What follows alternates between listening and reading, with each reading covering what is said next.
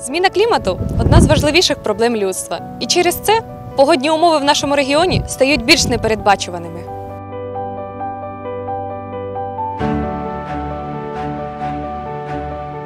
Сейчас мы видим, что зимний период значительно сократился.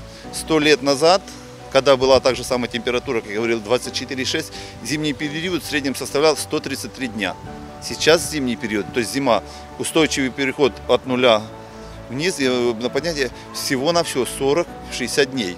То есть мы потеряли две трети зимнего периода. А зимний период это как раз вредители. То есть, то есть мы можем сейчас констатировать, что те все вредители сельхозкультур, которые уходят в зимовку, они себя чувствуют более комфортно. Плюс к этому раннее нарастание тепла весной. И вот даже прошлый год вы четко помните, что декабрь месяц еще очень тепло.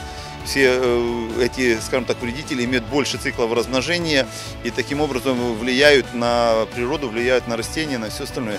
Найбільш помітним наслідком зміни клімату на Херсонщині є надзвичайні ситуації, такі як сильні засухи, повені, урагани, надзвичайно спекотні дні та різкі зміни температури.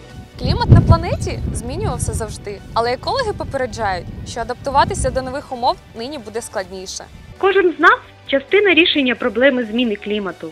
Ефективно використовуй ресурси, переходь на відновлювані джерела енергії, адаптуйся до змін, не будь динозавром.